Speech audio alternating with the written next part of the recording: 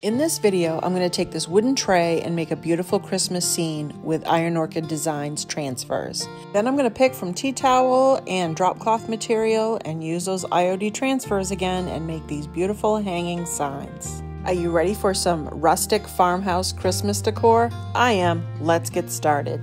Welcome, my crafty loving friends, to Repurposed My Way. I'm Shelly thrifted this little tray or plate and wanted to do something Christmassy with it. Now, in full disclosure, I did not want to make this into an IOD video.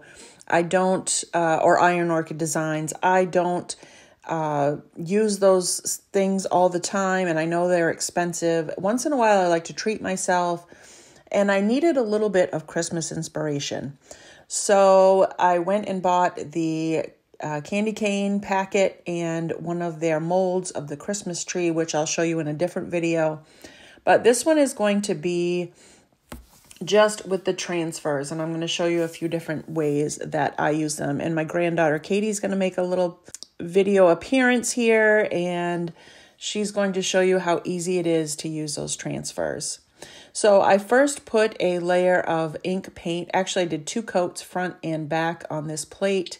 And then I took the Dixie Belle latte paint and did two coats on the top of that. And now I'm taking my paintbrush with a little bit of black paint and just going over the top. I'm just giving this some layers to make it look kind of rustic and old. I want an old farmhouse look to this. So here is the the candy cane transfers and there's so many different really cool things. You're going to see us use that big Santa and that car and I am going to uh, do these as well. Not in this video. You'll see them at the end what I do, but the process is really the same and I didn't want to be repetitive. So I decided I wanted to do this little Santa and the tree that is underneath him on this tray and we're going to make a little winter scene using this and some IOD molds. You want to make sure that your paint is definitely totally dry before you work on these transfers and try to stick them down. They will not stick very well if um, you try to do that while they are still wet and they will cling to the paint and pull it right off when you pull your clear top piece off.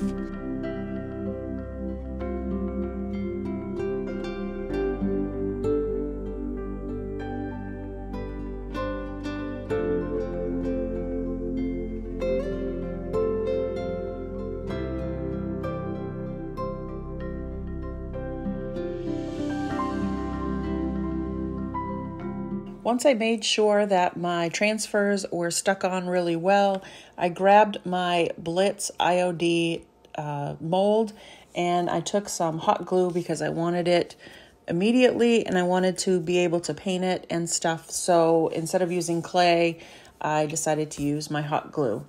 Now I didn't prep these at all. You just put the hot glue in. Once it dries and cools down, you can pop them right out and I'll show you uh, in the next clip how easy it is.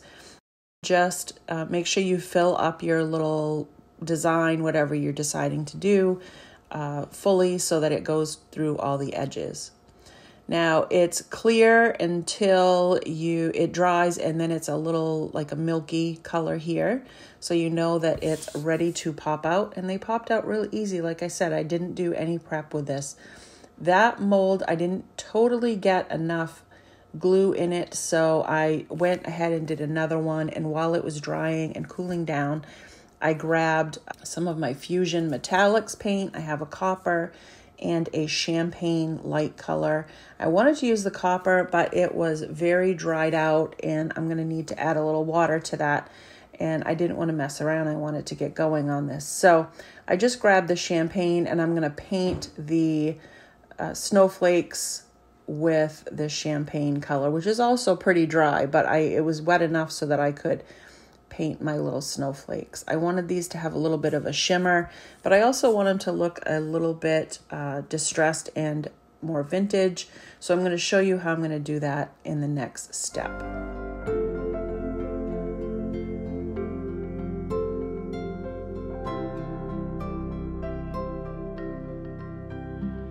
This is Dixie Belle Dirt, and it is just like what it says it is. It's a powdery mixture that looks kind of like dirt, and I want to put that onto my snowflakes.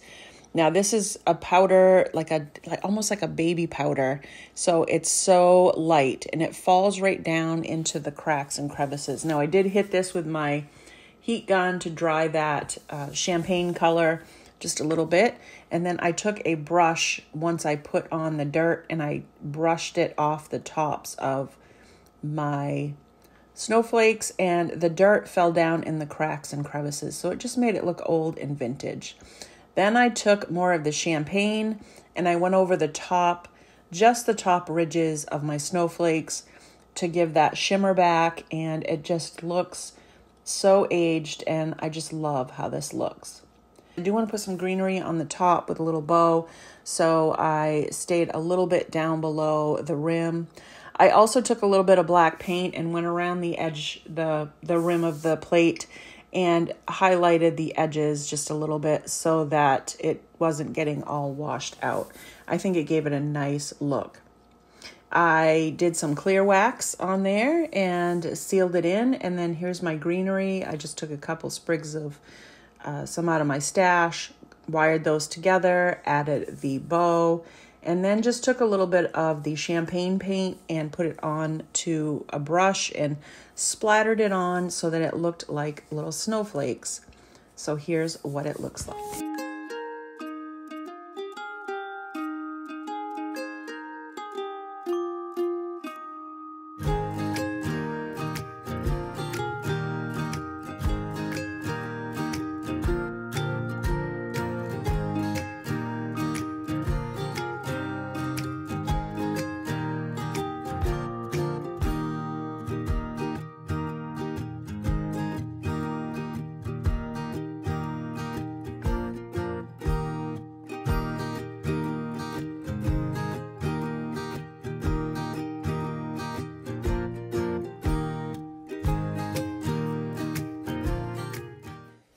I are trying to decide. We want to do, she wants to do, she picked out this from the IOD. Um, oh, jeez, I can't even get it open here. There we go.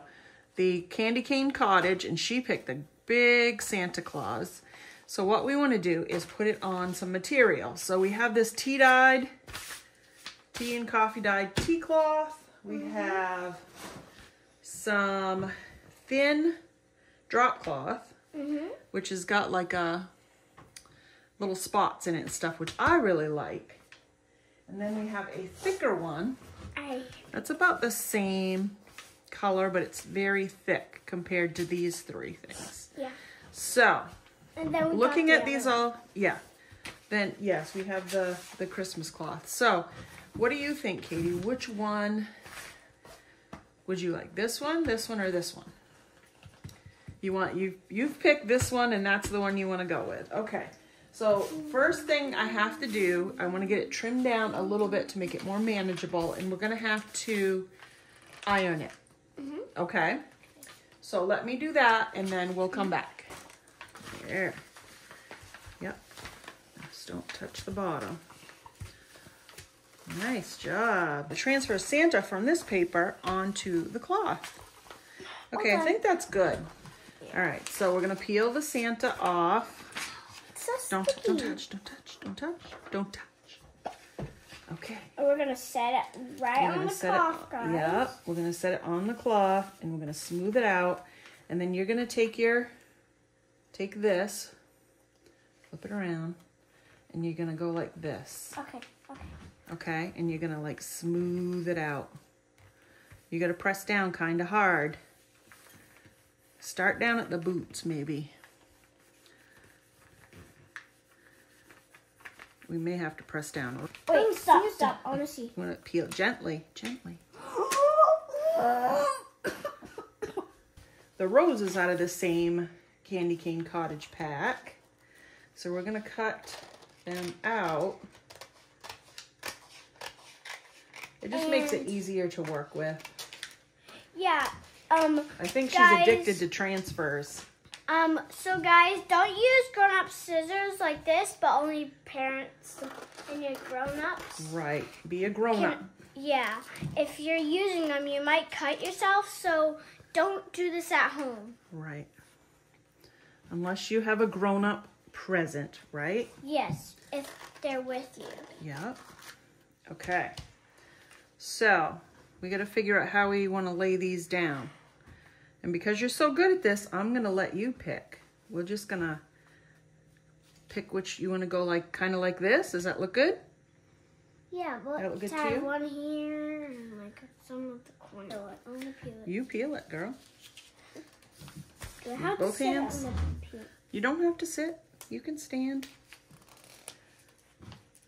There you go. No, um, Now easy, don't just flop it. You've got to set it down where you want it. Right here. Oh, can I have it? Yep. Oh, Now be oh, careful because this one's smaller. So, Oh, let's do the flow part. Don't push it really hard. push it really hard. Wow, you're so fast. Where'd you learn that? there we go. That's okay. See? Oh! Woo! That looks so pretty. Beautiful. You're getting your head in the way. They can't see it. Oops. Look at guys. I just did it. Now let's do this one. Okay, let's burnish it though. You gotta take Yeah. this side and you gotta go like this. Oh, We got Santa just a little bit there. Because we got I'll pretty my finger there. we got pretty excited, didn't we? Mm-hmm. Mm-hmm. Ooh, ooh, ooh, very right here. That's okay. So guys, don't like push down really hard, guys. But you can do this at home with your mom or your dad. But you can do it also with your Grammy if you're at your Grammy's house. You can do crafting and all types of stuff. I actually did it. You did it! I did. Oh, yep. Flip it over and burnish it down. See? Girl's professional now. So we didn't get it on video because I thought I had it going and it was not. But we took that previous transfer and cut it up and made it go around kind of like it went like on the back of Oh, I just the truck and then over the top here and made it look like kind of a little frame, like he's coming out of a frame. I think it looks really cute. And all we did was cut it along the lines and just cut wherever we needed to cut. yeah. And um, it came out, I think it came out really cute. What do you think? Do you think, Very guys? cute. This video is a Christmas farmhouse collaboration with several other wonderful creators on YouTube. I'll leave a link to their channels and to the playlist and to the comments at the top and down in my description box. Make sure you check out these wonderful creators. It is definitely going to give you some information and inspiration to get you going for Christmas time. I used my table saw and my new sander to make a few one by one strips of wood that I'm going to use for my my cloth material that Katie and I did with the IOD transfers on them.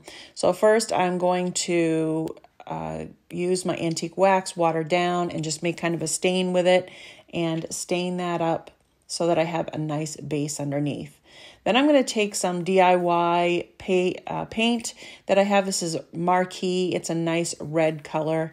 And I'm just going to kind of dry brush it on. Uh, this paint I had was very dry. I don't know. Everything's drying out on me. Um, so I had to add a little bit of water. It is clay-based paint, so I can add some water to it and mix it up, and it worked wonderful.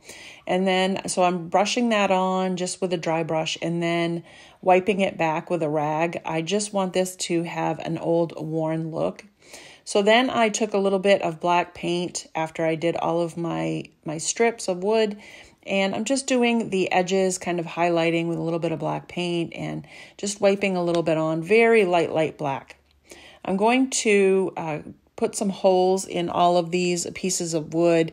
Normally you would only put one in the top. Uh, you wouldn't put one in the bottom piece, but I wanted to add another element to that so that it matched the top of the hanger. So uh, I'm doing this in all of my pieces of wood. It's just on a card piece of cardboard so I can do a little little hole in there and not drill through my table. So I cut a bunch of strips of just regular wire. I get this wire from, you can get it from anywhere, but I get this black wire from Tractor Supply. It's over in the fencing area. And uh, it's fairly inexpensive. I think it's like seven or eight dollars a roll, or it was. Um, and I just do a little bit extra so that it will hang and I can have a little bit sticking out the front so that I can take something round rounded and kind of twirl that around and make a little loop that will hold that wire on and it gives it a little bit of a decorative element as well. So once I do both sides of that, I'm going to do the bottom strip of wood. So I'm doing going to do the same thing except it's not going to be a big long piece of wire. It's going to be just a short little piece of wire. So I'm going to cut them off. I'd say it's probably about three inches long. I have to have it long enough so that my, you know, I can wrap it around and my fingers, I, you know, can can deal with the that wire. And so here you can see I'm just wrapping it around and making a little a little piece like the top, but it doesn't have that big wire hanger on it. And then I point the little wire down and I glue them down in the holes in the bottom of the strips. I hope that all makes sense. Now you probably noticed that I had one of my sets of pieces of wood was shorter than the other. And that's because one of my transfers that I had is a little bit shorter or widthwise. So I just made it a little bit like by an inch shorter. So I have 13 inches long on, on all of them, but one set that's 12. So I just thought it would look better than having a big long piece of wood. So now I'm just taking my uh, Stanley staple gun, and my husband got this for me years ago, and I've had a lot of questions about it. I'll put a link down in the description if you're looking for one. I really do like this. It's a good heavy duty one. It is hard to squeeze for me, so I have to use two hands when I do it most of the time, like holding it down and squeezing at the same time. But uh, I can get it to work. But it works really well. I haven't had any issues with it. So this is the shorter one that I made the short little pieces of wood. And I just added some greenery to all of my hangers, some red berries, and this really pretty striped, like ticking stripe type um, bow to all of them. So here are all of our creations.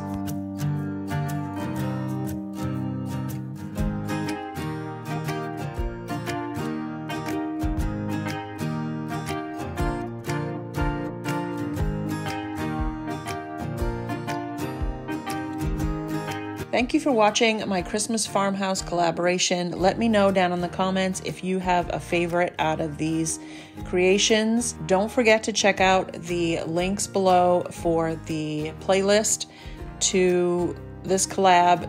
You're going to get lots of inspiration. I just know it. Don't forget to like, share, and subscribe if you haven't already. Thanks for watching. Have a great day.